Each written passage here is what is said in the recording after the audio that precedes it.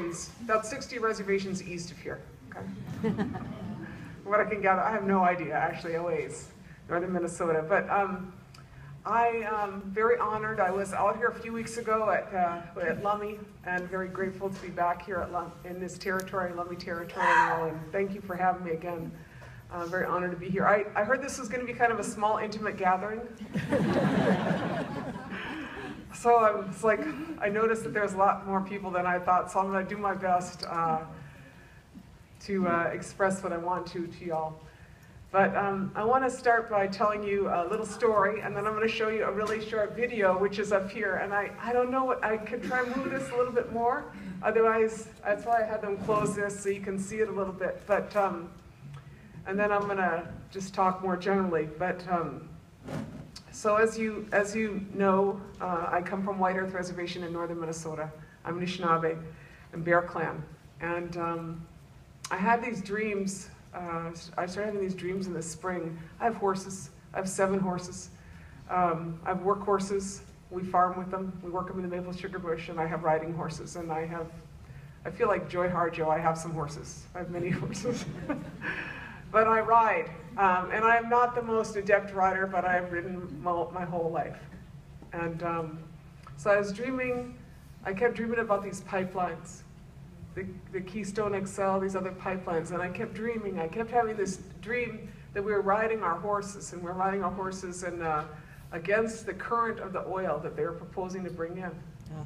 That's how I dreamed it. Mm. And so I uh, went and I uh, you know, I thought about it a little bit. In the meantime, my children are laughing at me because I'm, I'm not a Craigslist addict, but I have Craigslist issues. so I went on on Craigslist and I got a horse trailer with living quarters, three horse trailer with living quarters.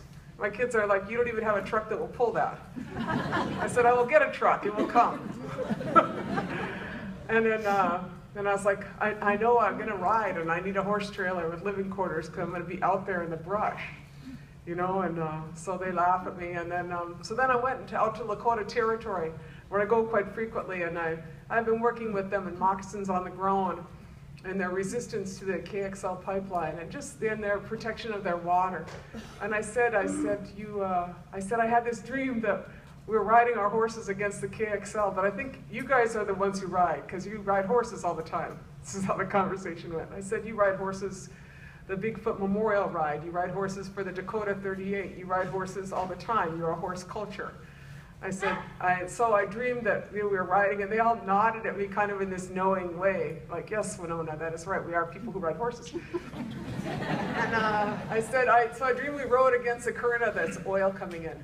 And they said, you know, we're going to take that to our ceremonies, you know, we're going to deliberate on that, what you said, you know. I said, and so I think, you know, and I said, I'll, you know, you guys, once you decide what you want to do, I'll figure out how to raise the money, I'll get some press and media, and I'll support you.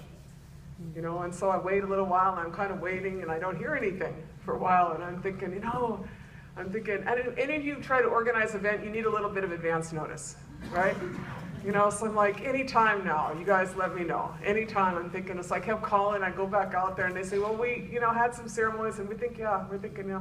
So anyway, in the meantime, I'm back home and I, and we have a pipeline which crosses our territory already that was really a bad pipeline. It's called the Alberta Clipper. It's actually the single largest source of tar sands oil in the United States right now. Got 440,000 barrels per day going across northern Minnesota. Minnesota's like the super highway for tar sands oil right now.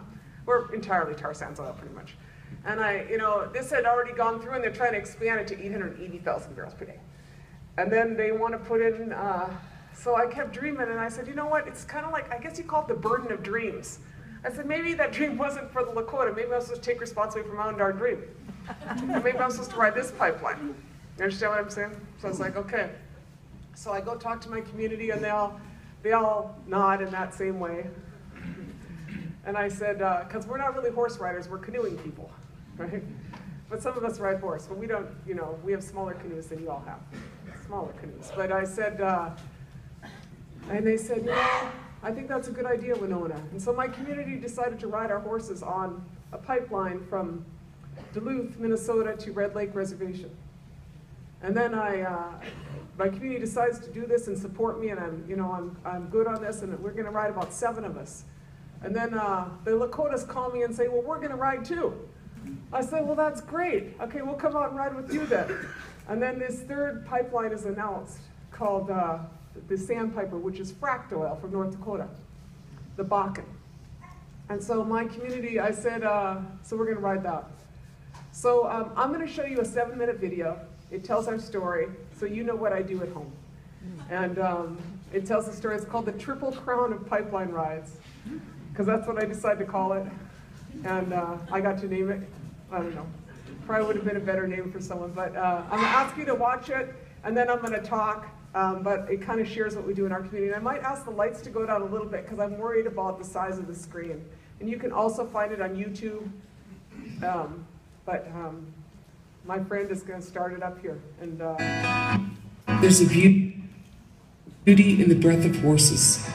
Fall morning's breath seen in the air.